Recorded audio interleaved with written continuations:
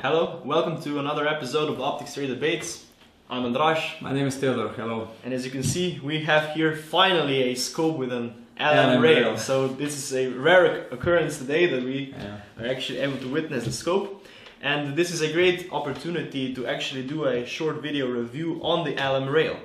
So, um, Theodor, can you tell us a little bit about the history of LM rail? Well, LM rail was uh, at least a couple of years ago. It was the most common and the most popular type of rails on the scopes. As we probably already explained in many other videos, rail mounting is always better than ring mounting. Although rail mounting is only popular in Europe.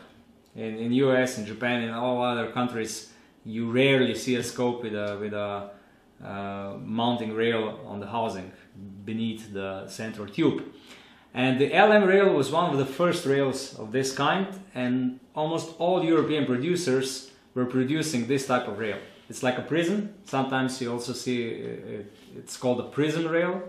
Uh, however, in today, 2018, I think that only Carl Kaps, some Noblex Docter, now they are in transition from Docter name to Noblex name, some of their scopes and some Schmidt and Bender scopes still feature LM rail. And already with all these last three producers, I would say it's less and less common to, to see the LM rail.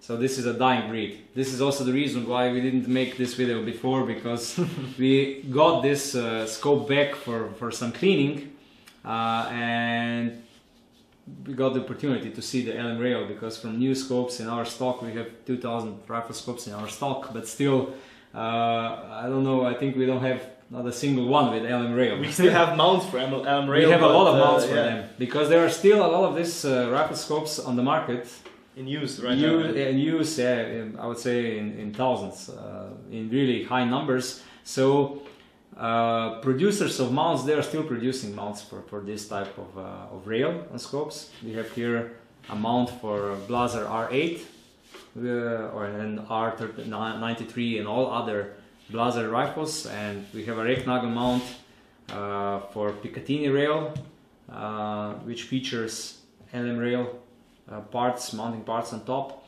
and we have many other. Uh, I would say we have a couple of thousands of uh, of different mounts for LM rail because they're still available on the market, even though they're rarely sold. The rifle scopes are rarely rarely sold today with this type of rail. Um, Okay, so uh, that was a little bit about history. Thank you for that. Um, now, are there any advantages and disadvantages of mounting with the LM rail? Well, the advantages is that uh, you get a more reliable mounting solution with a rail, and you get a less tension on the scope. It's more robust, it's more reliable, more material. It's better in any way, and also uh, sometimes with uh, with uh, scopes with uh, rings. Uh, well, not sometimes. Every time you have to make sure that the horizontal line is really aligned with the with the horizon. So sometimes this is quite difficult to achieve. And with, with rail mounting, this is not the case. With rail mounting, you always have the uh, horizontal line in the reticle uh, aligned with the horizon. Um, so that there are many advantages. It will withstand recoil better, it will work longer, it will be more reliable and so on. So we're talking about the standard, uh, advantages of every rail yeah, mounting. yeah, of every rail mount. Yeah. What is a disadvantage is that with LM rail, the rail was designed and meant so to be mounted in a way that you, there are um, that you make holes through the rail itself. The gunsmith needs to to produce holes on specific uh, positions so that if you check this mount, you see that screws go through the hole and then they clamp the rail together. So, and this is problematic because only really experienced uh, gunsmiths can do this and do this well. And there is a lot of work to, to, to make a hole through the rail and that the hole is in the exact position and so on. So this is the biggest disadvantage and this is the reason why this rail is dying out. Why every, every producer, uh, almost all producers already stopped the production of scopes with this type of rail uh, because making of the holes through the Yeah, rail is quite yeah it's, it's yeah. an error happened already here when it was mounted maybe 15 years ago or 20 years ago.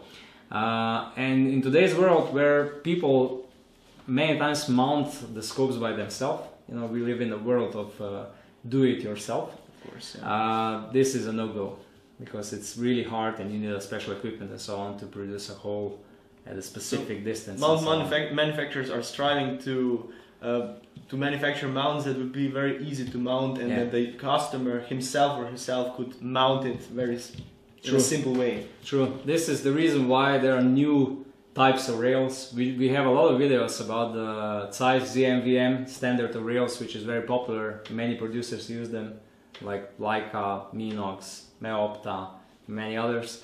Then we have the Swarovski SR rail, which is used also by Kahles. And we have the Schmidt & Bender convex rail. So three modern standards which don't need upgrade of the LM rail. yeah, you don't need to drill holes through them. You just use five screws and works, and it's really easy to mount them. Uh, so they have all the advantages of the LM rail without the disadvantage of uh, that you need to produce a hole through the through the that you need to drill a hole through the rail.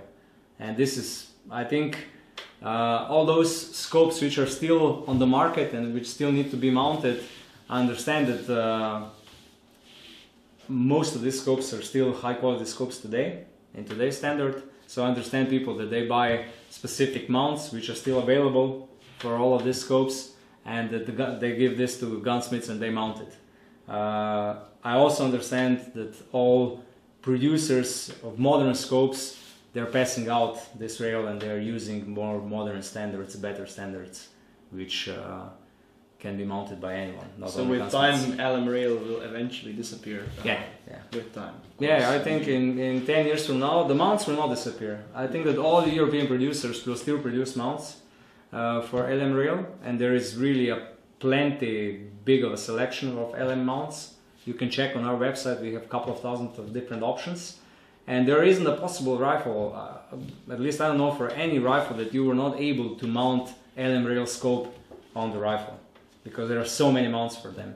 Uh, however, I do think that sooner or later all the producers will stop to produce this rail, this type of rail, this standard. That's basically it from the uh, description of the LM rail. Thank you, Theodore. I I hope we covered everything. I hope we covered everything. If we didn't, you can always leave a comment down. I remembered one thing uh, also. Uh, they're all the same. Sometimes we get a question: Is uh, LM rail on Schmidt and Bender the same as LM rail on old Kahles scopes? Yeah, they're all the same. So the standard is the same. the standard is the same.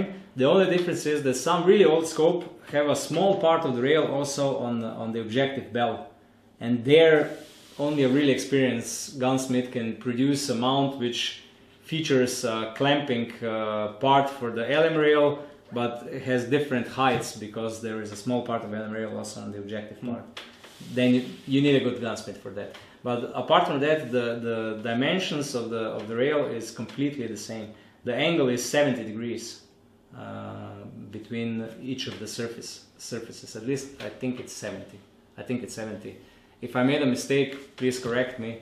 But I think it's, the angle is 70 and uh, the dimension here is around 15 or something like that. So they're all the same. So every mount will go on each LM rail on no matter which producer made it. Thank you very much for this edition. So uh, now it's even more complete. But if you still find anything that we forgot to mention, you can always leave a comment down in the comment section or send us an email. And remember to like, subscribe, and see you next time, of course, in the next episode. Thank you. Thank you. Bye.